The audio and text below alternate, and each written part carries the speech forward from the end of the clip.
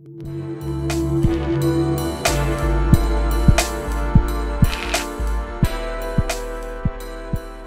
to another installment of EGN News. In entertainment news, uh, Paul Walker, the star of Fast and Furious, uh, was in a car wreck, uh, died. Uh, take a look. We don't, but we came from the same area. Is that what car is that? It's a Ferrari, dude. Dude, go away! It's gonna blow up. Dude, the guy's in there. He died. Go! Go drive. It's really sad. Uh, feel for his family.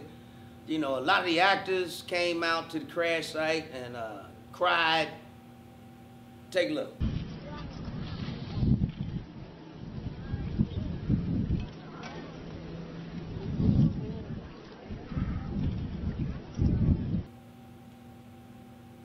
It's just really sad, you know. But there was somebody else in the car. This is what's pissing me off about the media. Okay, everybody said about the star dying.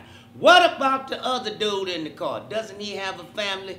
You understand me? Does anybody care that there's another guy dead? And on top of that, when I had my car accident, wasn't nobody crying. Did nobody get on the news and say, is Eddie alive? Is he dead? Now, motherfuckers just talk shit.